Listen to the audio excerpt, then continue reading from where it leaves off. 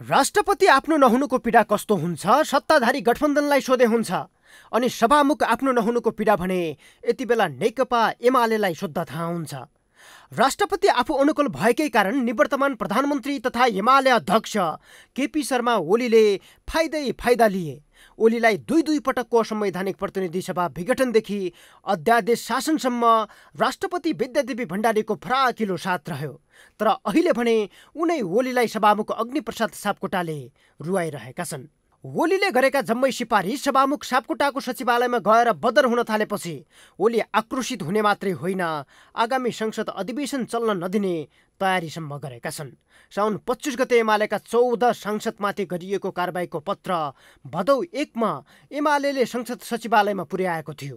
तर सभामुखले पद रिक्त भएको जानकारी संसदलाई वा संसद नभएको अवस्थामा संसद सचिवालयमा टाँस गर्नुपर्ने भए पनि सोमबार कारवाही गर्न नसकिने भनेपछि एमाले थप आक्रोशित बनेको छ। देख्दै थाहा भइहाल्यो नि।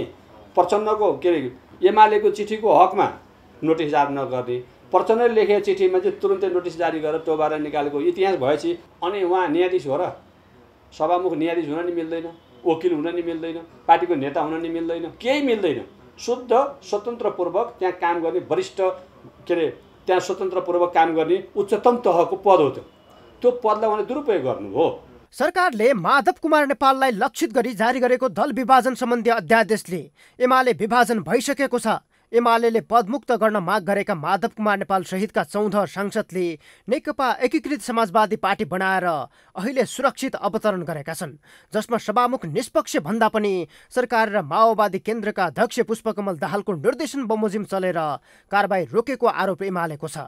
कार्यकर्तालाई सभामुख विरुद्ध प्रतिवाद गर्न निर्देशन दिएको एमाले अदालतसम्मको तयारीमा छ तर यसलाई सत्ताधारी गठबन्धनका नेताहरूले सभामुख कुनै पार्टी वा व्यक्तिको नभई कानुन बमोजिम चलेको भनेर अर्थाइरहेका छन्। कानुनलाई दिएको उहाँलाई यसो यसो गर भनेर कानुनले दियो। कानुनले दिए अनुसार गरेको कुराहरू त के भयो त? सभामुखको अधिकार रहेछ भनेको बुझ्नु पऱ्यो नि त। सभामुख पनि मान्छे हो भावना त हुन्छ त। है? भावना त है? मिल्दैन। त्यही कुराहरू निष्पक्ष हुनुपर्छ। म कसैसँग द्वेष कसैसँग स्नेह गर्दिनँ भनेर कबल खानुपर्छ। हुन त सभामुखलाई कानुनले पन्ध्र दिनभित्र निर्णय गर्ने अधिकार दिएको छ तर यसअघि माओवादी केन्द्रको सिफारिसमा पदमुक्त गरिएका सांसदहरूलाई सभामुखले चौबिस घन्टाभित्रै कारवाही गरेका थिए। एमाले गरेको सिफारिसमा भने सापकोटाले तेह्र दिनपछि कारवाही गर्न नसकिने जानकारी दिएका हुन्। यसर्थ सभामुख सापकोटा एमालेको विषयमा प्रतिशोधी बनेको पनि देखिन्छ तर विश्लेषकहरू भने सभामुख निष्पक्ष बन्न चुकेको भए पनि एमाले आफ्नो विभाजनको दोष सभामुखमाथि लगाएको बताउँछन्। कि माधव नेपाल चाहिँ त्यहीँ बसिरहेको भए ओलीजीले कारवाही गर्ने कुरा सभामुखले अगाडि बढाउने कुरा एउटा सन्दर्भ थियो। त्यसो भएर सभामुखको अदालतको कहिलेकाहीँ राजनैतिक सन्दर्भ हुन्छ।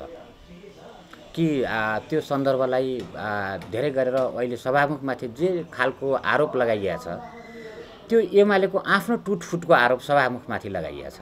एमालेको आफ्नो झगडा सभामुखले बोक्न परेको छ सभामुख सापकोटाले माओवादी केन्द्रका अध्यक्ष दाहालको इसारामा चलेर कुनै अमुक व्यक्तिको स्वार्थ सिद्ध र सरकारको माग र फाइदा बमोजिम कदम चालेको टिप्पणी पनि भइरहेका छन्।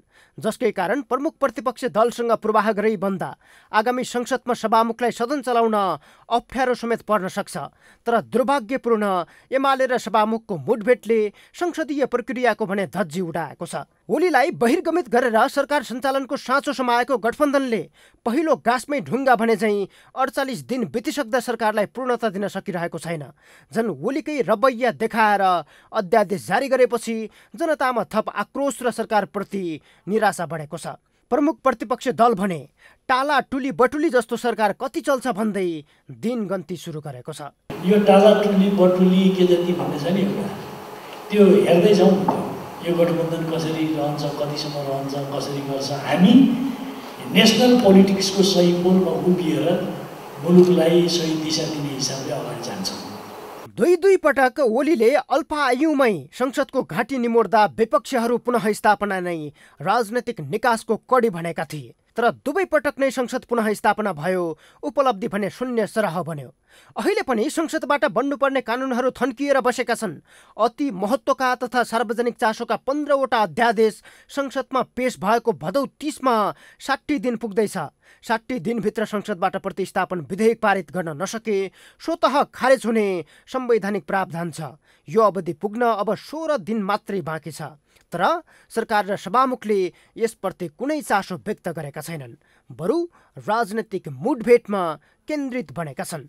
यो हो टेलिभिजनका लागि क्यामेरामा सुरेश श्रेष्ठका साथमा सन्तोष विके थापा काठमाडौँ।